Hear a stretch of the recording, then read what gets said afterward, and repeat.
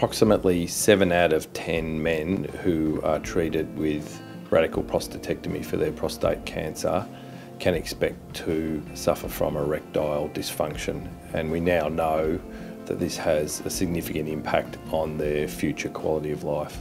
It's a bit of a taboo subject and it's enabled men to open up more and share their feelings which is really important so they're not suffering on their own.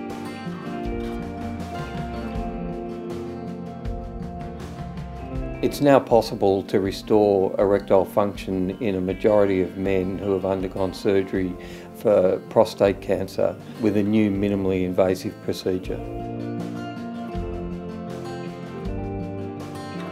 I was diagnosed with prostate cancer and subsequently I had radical surgery and while that surgery was life-saving the effect on my life was quite significant and I lost a lot of self-esteem.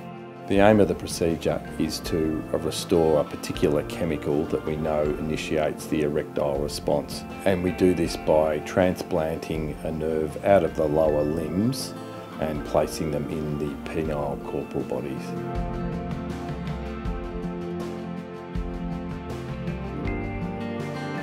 Traditionally, when treating prostate cancer, the aim was primarily a cure, of course, but now we're focusing on other aspects of the recovery, particularly quality of life. Procedure is not for everyone, but I went through quite a screening process. The surgery is reserved for patients 70 years or younger that are usually within five years of their radical prostatectomy and had a strong sex life before they were treated for prostate cancer. The thing I really enjoy is seeing the patients when they come back and I can tell if it's been a success because they walk in with their head held high and with a big smile on their face.